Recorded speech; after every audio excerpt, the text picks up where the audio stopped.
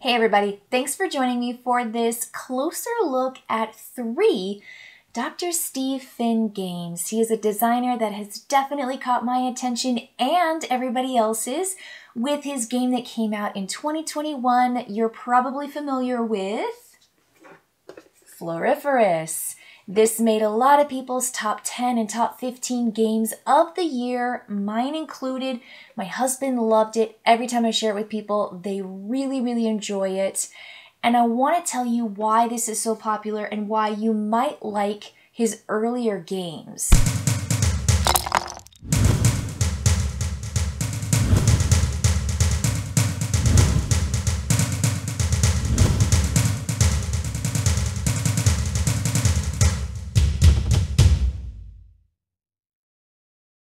So, Dr. Steve Finn has his company, Dr. Finn's Games, and he designs and publishes through a small independent publisher. That's just something that's really cool, and I like to support people who are putting great stuff out there, and they may not have the biggest company and the biggest, you know, platform and the biggest marketing budget. But I do have to say that there's something really, really great here. And, and I think that he's a master of the short game, the straightforward game that really maximizes and focuses on one or two mechanics that work together so well. That's my overall take with just every game that I've played of his, uh, which is a handful. So, what I'm going to do is I'm going to start with the easiest, shortest, lightest game, and I'm going to move through the 20 minute game, which is the little flower shop the 30 minute game, which is the Butterfly Garden, and I'm going to end with Mining Colony, which is a 40 minute game. All right, so let's jump right into it. The Little Flower Shop plays 1 to 4. It takes 20 minutes to play, and its ranking on Board Game Geek is a 1.5 difficulty out of 5. So when you open up the box, you're going to have this really nice uh, player board that everyone is going to uh, play on. They're going to put all of their cards on this board. And so everyone's got to have at least this much space to play with. Um, the base mechanic of the game, though, is card drafting. And this is it. You get the box. You see that there's this box insert, but it's really just to support all of the player boards. So I've got my player board here and I've got all of these cards. And I like that this game is wholly based on that drafting. Um, there's going to be money cards that you've got in here to keep track of all of your income. Um, that's your little cash register because you're running a flower shop and you want to sell flowers for money. Um, but you've got these vases. Everyone starts off with these base vases. So you've got your yellow player, green player, uh, red, and then blue. And I like that there's this card drafting and this set collection, and it just plays so smoothly, it plays so fast.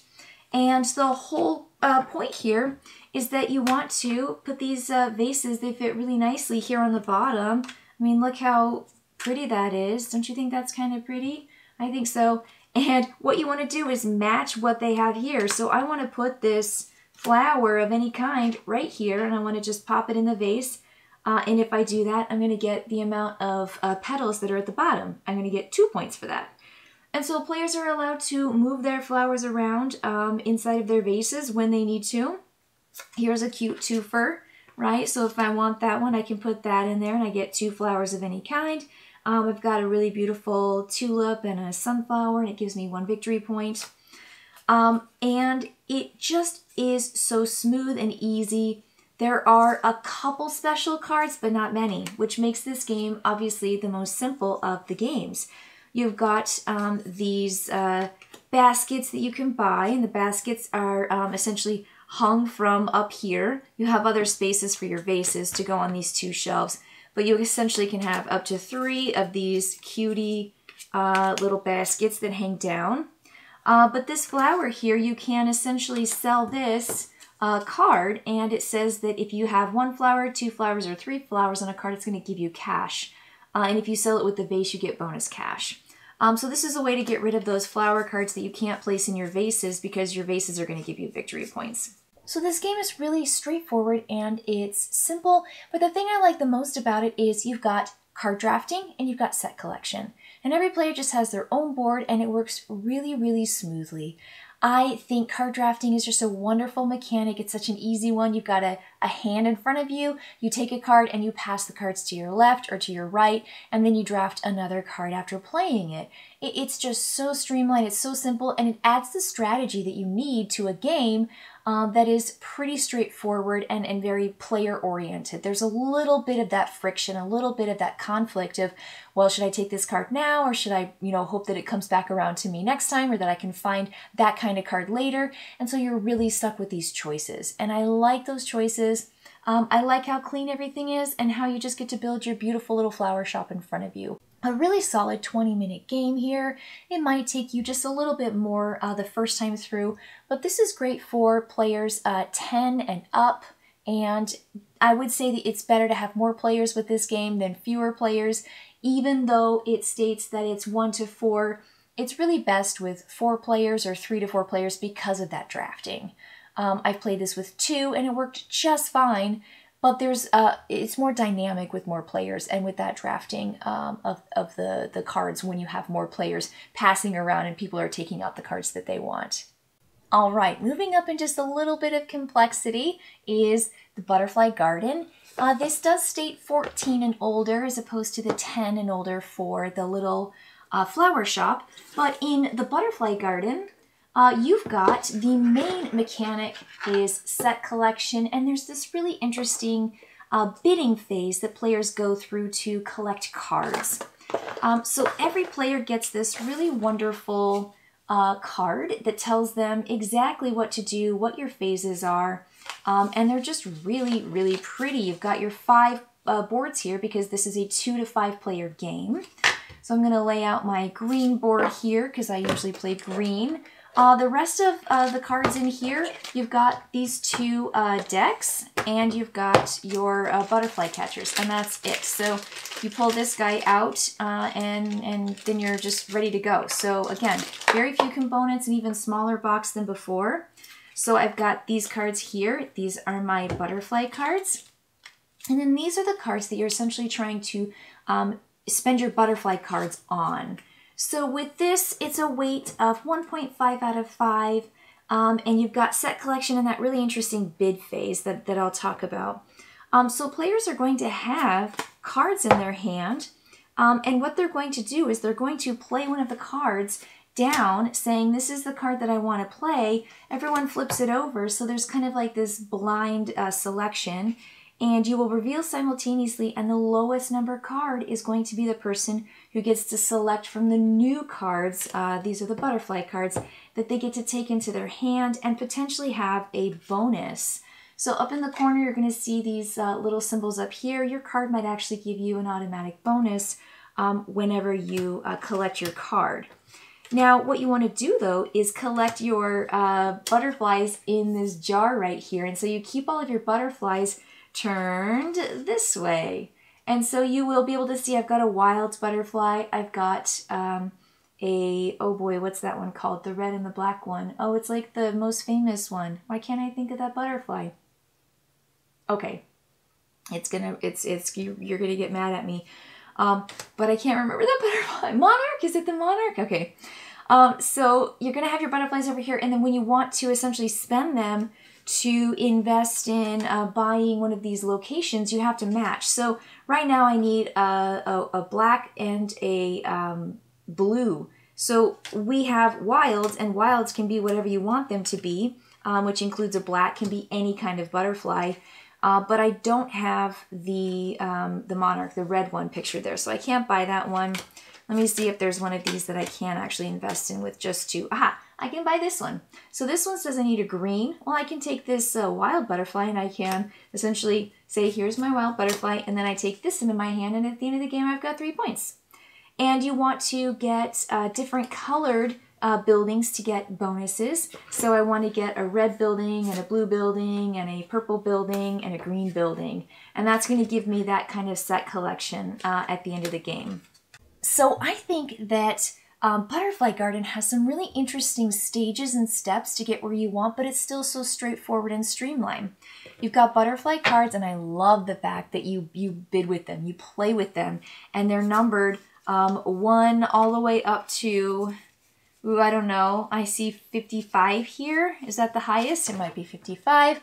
And so you are trying to bid for priority in selecting more butterflies to bring into your uh, hand. Uh, and, and, I, and I love that. I love that a lot. Um, it's really, really interesting. And then you have to, at the end of your turn, be ready to uh, essentially invest in that location and to, you know, spend the butterflies that you've saved up in your jar to get those locations for the victory points and for the set collection.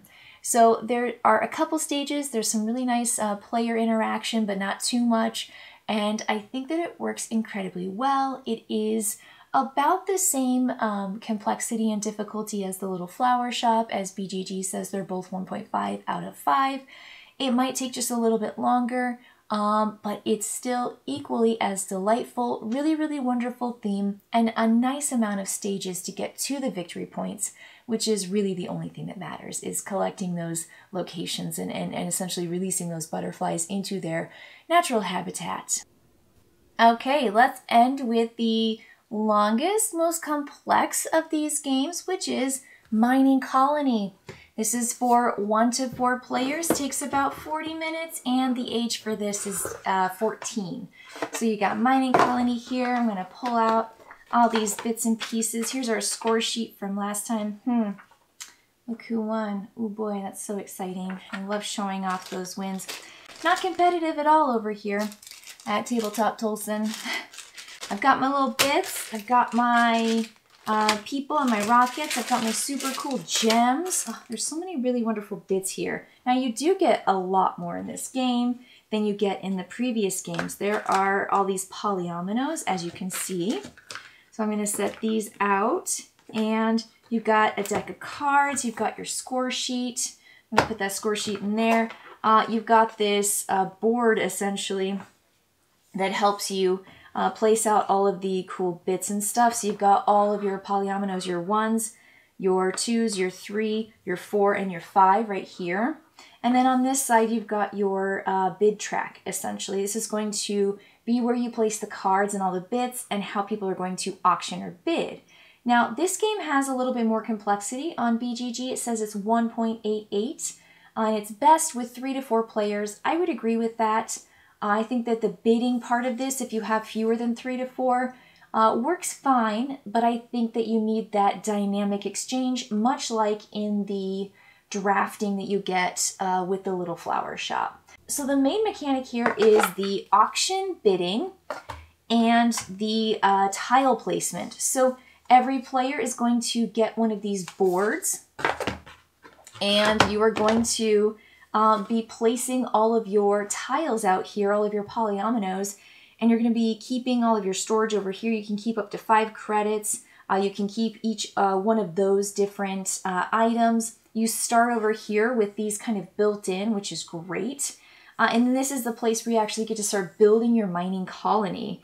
So I'm going to lay this out here so you can see it. I'm going to put that box over here and show you some of these cards. So these are the cards that uh, players are going to use uh, to, to bid with, and every player has their own deck. And what you're going to do is shuffle them up, and you're going to select a card to use to bid and select on the board which one they want first. And so, much like you see in the butterfly garden, you're bidding with cards to have priority in selection but then there's also that really cool individual player board that is just super duper fun. All right, so these are going to be the cards that tell you what to do. So if you take a look at this card right here, it tells you that in these uh, spots you've got first, second, third, and fourth, and you are going to put those things there. So you put a 4B right there, a 3B, a 5B, and a 1B, and then you've got your um, kind of rocket station and a person, and then you've got these colored gems. And so they're going to give players different choices. Well, do I want this to cover up more space on my mining colony because empty spaces are negative points? But I really need to get a purple gem, or I really need to get one of those kind of rocket stations because you want to pair the same color person with the station. And that's going to be one way that you earn points in the game. So these are just going to be those cards that you use to put out for the selection. And as you see here, there are three different colors of rockets and, and people. So you've got the blue, the red, and the black. Um, and then you've got your little uh, discs that tell you what kinds of buildings you have, which obviously are depicted on the board as well. Uh, these are your credits. And then all of the tiles have different stuff on it. They're not just polyominoes. They have totally different images depicted on there, places for you to build. Um, so let's say you have a blank space on one of these polyominoes. You're able to put one of these on there um, to give you the opportunity to build the way you want to build. So even though these come preset, you also have a chance to uh, change that up, which is great because it gives you that added um, strategy. Now, there are bonus. Um, whoever does something first gets these little towers, and I think that's fantastic. I love that race feature, and it's really, really important, I discovered. I also just think these gems are super pretty. They're really nice. They're, they're, they're you know, basic, but they add something to the quality of the game and the, and the, and the look. So for me, I think Mining Colony is the juiciest. I think you can tell uh, as well. You know, it's got the most bits and pieces and it has the most stuff going on. There's some really great race features to get things done before other players. But again, that bidding or auction phase is just the coolest because if you throw down all your big cards that you want to go, you're like, I'm a heavy hitter, I want to go first every time, you might get stuck towards the end uh, in the end rounds without the numbers you need to really get the stuff you need. So you kind of have to balance, well, maybe I shouldn't be playing such a high card to go first in this round, because at the end of the game, the player who has the cards, the remaining that weren't played, that has the highest number is going to get a bonus. So that means you were playing lower cards, maybe not getting it priority, and you were sacrificing that to get that bonus at the end of the game. So there's just a lot to really like here. And again, I think this works well with three to four players just because you need that dynamic of other players kind of getting in your way and maybe choosing the, uh, the, the selection that you want, which is the polyomino with either the people or the rockets or the gems. So there's some fun, fun stuff here. And I also want to mention that I recently backed and it was successful the BYOP Bring Your Own Pencil campaign for Mining Colony Duel. And that is just a print and play. It is by Dr. Steve Finn and it is going to be a one to two player version a mining colony. So, you know, uh, like I said, I played that with a, a two player version and it was interesting. It was fun. I loved it. I, I got the game, but I think the game works best with more players. So now you can play mining colony in this dual form that is really geared to just two players or you can play against the you know bots or the the AI of the game, um, and you can just play with one. Like you could just do solo of Mining Colony. So I'm really excited that I backed that and that it's available because I think there's a lot to like here with Mining Colony. Okay, time for my final take. I have explained and shown you just a little bit of what these games do, their basic mechanics, and how they work. So for me, the one that I think I would come back to more often than not is probably the little flower shop. I think that there's something really fun here with the drafting and the player board. There's a lot more going on than at first glance, and I think that the solo variant of this is really dynamic. I find that to be super appealing. I love the way that it works. I think it's smart, and because it's a 20 minute game, it takes between 20 and 30 minutes to play people feel like they've got their own board in their own area, but that drafting is just dynamite. It really is super, super cool. So for me, the little flower shop, out of these three, I'm going to play probably more regularly, but coming in a close, close second is Mining Colony. Mining Colony has something going on that is just great, and it's that bidding. There's something so fantastic and like just heavy about bidding. Sometimes you really need something and you just go for it. Um, there are never any ties because every single player deck has a totally unique number. So there's never going to be any confusion of, well, I've got 12 and I've got 12 too, and what about turn order? Nah, don't worry about that, right? Doesn't matter. So you just play your card, and there's a clear winner, there's a clear second place, and even if you don't go first, you still might get what you want. And I love that because somebody else is going for something entirely different. There's this building with the polyominoes in front of you, and I love filling in those spaces and building that mining colony. It's such a strong theme. I mean, the little flower shop is an incredibly uh, strong theme as well, and the artwork is just beautiful. So I cannot wait to see where the mining colony duel is going to lie in all of these different uh, Dr. Steve Finn games but I'm really excited for it because I think that might be better suited to the number of players that I play with the most, which is by myself or with Lewis. And then coming in third is the Butterfly Garden. It's really great, but I think sometimes you can have all these butterflies and you can have a real thing going and you just don't get the right cards at the top for the locations. And so I think the timing of that can be a little tricky, and someone might have a whole lot of stuff that they never really got to use or apply, and the game ends. And it makes you feel like just a little bit unsatisfied or, uh, you know, unfinished. And so for me, I think these two games leave me feeling incredibly, you know, excited and positive and like, like I'm doing stuff and I'm building stuff. And I think that uh, the the butterfly garden can really get you in a pickle sometimes um, with that bidding and the step to get your butterflies and then finally that last phase of the locations. Um, doesn't mean that it's a bad game. I think it's a perfectly fine game but i'm going to play these two more often and i think they're all three worth your time though. So again if you liked Floriferous, or if you know anything about it, go watch my video on it. I made a whole video dedicated just to Floriferous. If you're interested, but these are some stunning games, and yet again, I'm so excited to just get more Dr. Finn games and to play these because, again, he's got something. I feel like the brevity of the games, the straightforward nature of them, and just the clarity in mechanics, either one or two really strong mechanics used, just makes these games so complete and satisfying. Okay, I'll see you next time.